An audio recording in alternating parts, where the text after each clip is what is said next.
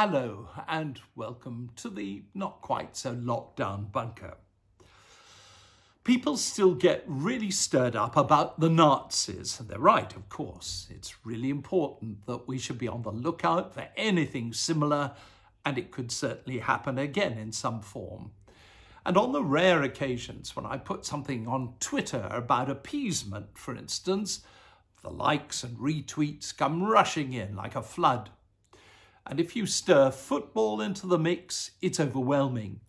You see, the other day I tweeted something about the anniversary of the England-Germany football match of 1938, when the horrible, stuffy old British ambassador in Berlin, Sir Neville Henderson, insisted that the whole team should give the Nazi salute before it started, so as to keep Hitler happy.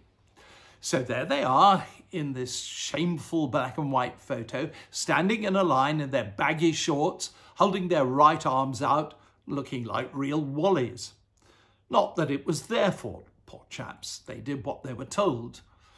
Only one member of the team, Stan Cullis, refused to give the Nazi salute, to his great credit. And he wasn't only dropped that day, he was never picked for England again. Still, he did become the famously successful manager of Wolverhampton Wanderers, so it all ended fairly well. Oh, and England wiped the floor with Germany in the match, by the way.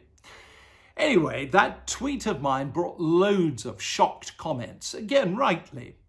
Keeping on doing what Hitler wanted managed to persuade him that we were feeble and would do absolutely anything for a quiet life.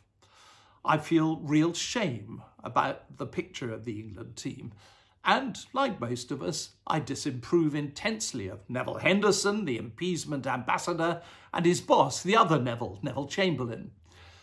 But 82 years later, they make an easy target. We know they were wrong. But have we learned the lesson as well as we like to think?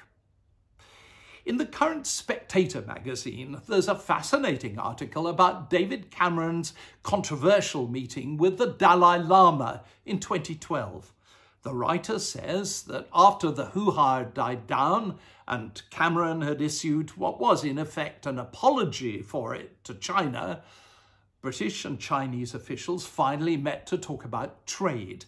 And the Chinese side insisted that before the talks could go any further, the Brits had to read David Cameron's apology out loud.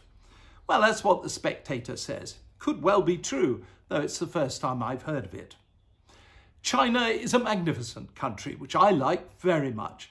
But no one, not even the Chinese government, suggests it's a democracy in our sense of the word. It's a hugely powerful country which can get extremely nasty if you criticize it or do something it thinks goes against its interest. Yet, I don't often find that people talk angrily about appeasement in relation to China. Most seem to want to keep on good terms with it. That photo of the England team with their right arms stuck out in front of them like branches is still hugely embarrassing to this day. I wonder if there's a photo of the British officials reading out the apology about the meeting with the Dalai Lama. Thanks for watching. Until we meet again, goodbye.